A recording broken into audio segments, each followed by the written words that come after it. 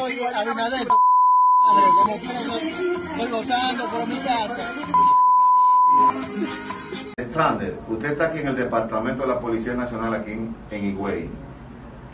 Eh, anda circulando un video por las redes sociales donde usted de manera injuriosa ofende al señor presidente de la República. ¿Qué usted tiene que decirnos al respecto?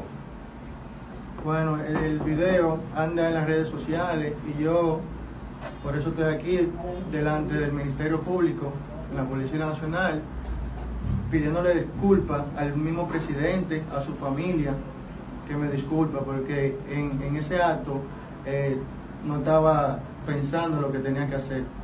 Entonces le pido perdón, disculpa y a la gente de- que le pase el- lo que me está pasando, que, que no lo haga porque en verdad no es bueno. Eso es todo.